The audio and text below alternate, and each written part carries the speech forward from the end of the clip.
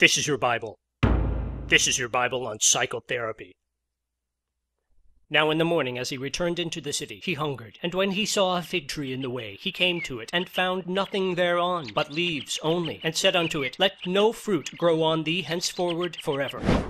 And presently the fig tree withered away. And when the disciples saw it, they marveled, saying, How soon is the fig tree withered away? Jesus answered and said unto them, Verily I say unto you, if ye have faith, and doubt not, ye shall not only do this which is done to the fig tree, but also if ye shall say unto this mountain, Be removed, and be thou cast into the sea, it shall be done. And all things whatsoever ye shall ask in prayer, believing, ye shall receive. In Bronze Age Israel, the people are represented by two separate but equally important groups the police who investigate crime, and the chief priests who prosecute the offenders. Gang related crimes are considered especially subversive. The dedicated detectives who investigate them are members of an elite squad known as the Jerusalem Gang Unit. And the owner of the fig tree saw all that took place and was inspired to file a police report. Then two detectives from the Judea County Gang Task Force came to interview him. There had been a wave of gang related vandalism in Jerusalem. He said he depended on the fig tree for his living, and they urged him to have his insurance adjuster examine the tree while the damage was still fresh. Then they promised him they'd catch the lowlifes who did this. At the precinct, scribes copied a police composite artist's sketches of Jesus and his posse and disseminated them all over town. That afternoon, a tip from an informant led them to the temple, where Jesus was in a squab with the chief priests and elders, blindsiding them with obtuse riddles and lame parables. The detective said to Judas, This the guy? And Judas said, Yeah. And Jesus said unto Judas, Ace cool, you couldn't even wait till Gethsemane to drop a dime on me? And Judas said, I spent my whole savings preaching the end of the world for you, and now my credit is ruined. Up yours. And they hauled Jesus and his apostles downtown.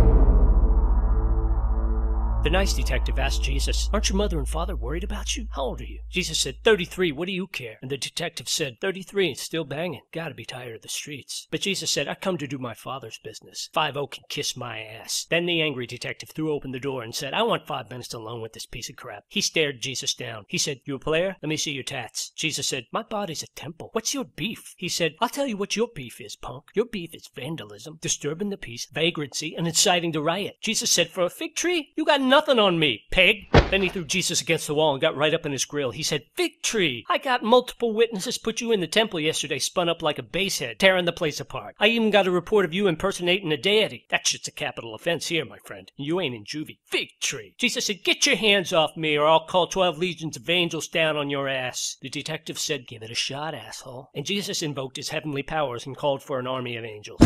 God and the Holy Spirit were watching up in heaven, and God said, Was that the signal? He was supposed to use code Whiskey Tango Foxtrot, but I guess we should go. But the Holy Spirit said, For this? You're gonna let him bleed out and suffocate under his own weight in a crucifixion, but do an evac over a fig tree? And the Lord said, Yeah, you're right. And they changed the channel.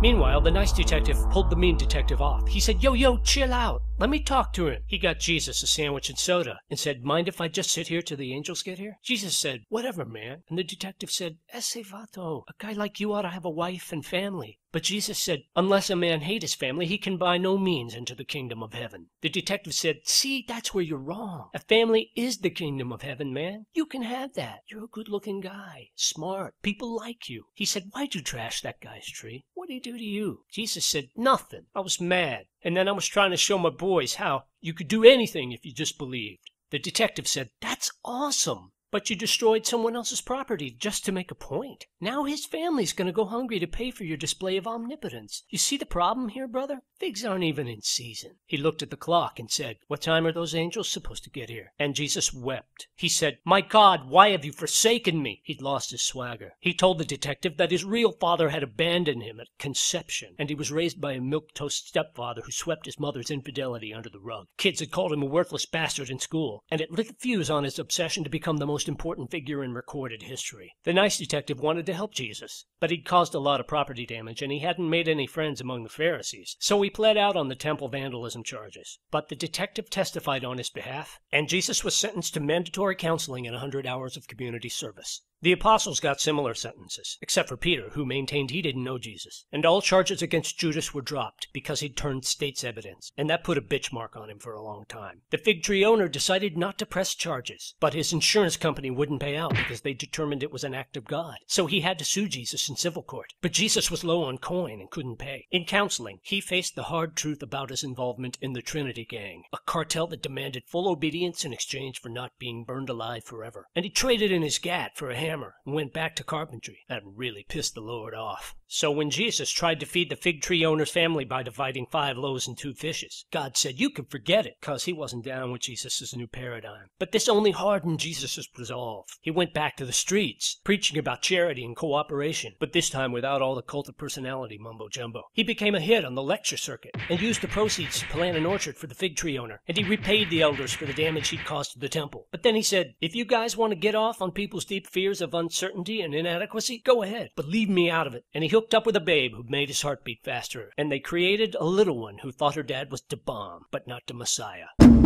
Then all his old apostles and homies surrounded him on the Mount of Olives where he was having a picnic. They said, What happened to you, man? He was going to be awesome. What do we do now? And Jesus said, I am not your Savior. Man up. I'm peacing now. And he spake unto them the Great Commission, saying, Go ye therefore, and be awesome to everyone, teaching them to observe all things whatsoever make each other's lives better. And lo, I am out. Amen. And he took his family and went off to live in peace.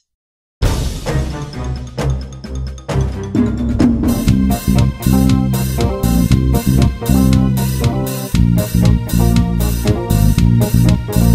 you.